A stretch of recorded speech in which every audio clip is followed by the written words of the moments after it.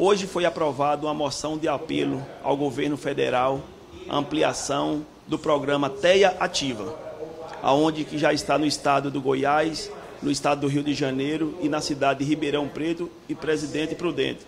Como Jundiaí é, é a cidade das crianças, nós estamos fazendo esse apelo para trazer esse programa para a cidade de Jundiaí, onde vai incluir atividade para as crianças, nossas crianças, nossos adolescentes, autistas, natação, esporte, incentivar essas crianças no esporte. Quero agradecer aqui uma mãe, Ângela, que fez essa indicação para o vereador e hoje essa moção foi votada aqui para trazer qualidade de vida para nossas crianças autistas, para nossos adolescentes. Gratidão é a palavra.